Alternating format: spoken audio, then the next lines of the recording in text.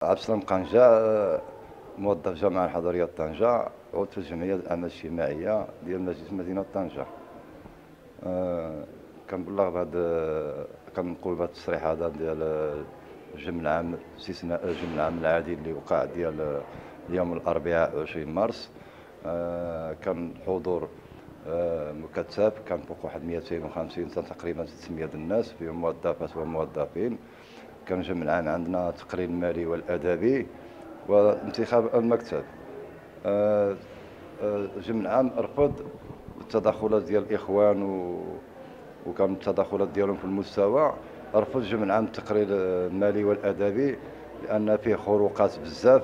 كثرة التقرير المالي والادبي الرئيس لم يوضح أي توضيح على هذه المالية ولا اي أي وثيقة آه، باش يقدمها في الجمع العام الموظفين والموظفات لا يرتبي بهذا بهذا الشؤون. وجمع العام راه رفض له بحال اللي قلت الأول راه رفض له التقرير المالي والأدبي. وكملنا على جمع العام ديالنا. استقل المكتب اللي كان سابقا. وطلعت اللجنة التحضيرية اللي تحضر الاجتماع.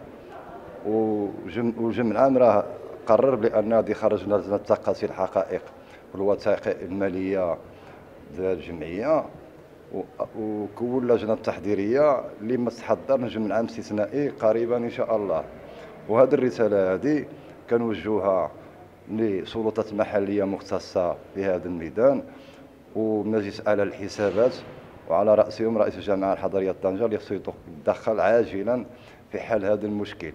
وحنايا إن شاء الله حنا كموظفين وموظفات الجامعة الحضرية طنجه غادي ننتخبوا المكتب الجديد إن شاء الله غادي نطلعوا الناس في المستوى اللي ما غادي يسرقوا شي المال العام وهاد الناس هادو تلعبوا بالمال العام لأن الجمعيه دخلها في الكونت ديالها 3 مليار و800 لم يعرف أي واحد أي سنتيم فين مشى وثائق وهمية مزورة ما عرفناش الحقيقة وهذا الرئيس هذا منذ تأسيس هذه الجمعية هو أمين المال منذ 10 سنين ودابا كيعمل مدة ديال أربع سنوات هو رئيس. كيهمل المكتب المكتب لا ما يعرف شيئا. آه كيعمل التقارير ديالو غير هو واحد ثلاثة أو أربعة الأشخاص. والسيد القرار هو العام رفض له كل شيء. وحنا كنطلبوا من السلطات المختصه في هذا الميدان يبحثوا في هذا الميدان في هذا في هذه الجمعية في هذه الوثائق ديالها. وعلى رأسهم بحال قلت مجلس أعلى الحسابات. وعلى رأسهم الكبير هو رئيس الجامعة الحضرية طنجة. وحنا كنتمناو فيهم الثقة وعندنا فيهم الثقة. لحل هذا الإشكال هذا وإن شاء الله عاجلا إن شاء أنتخبوا المكتب الجديد. غادي يكونوا فيه نساء ورجال اللي هما مخلصين الجمعية. وشكرا على الموقع الشمالي على هذه الاستضافة هذه.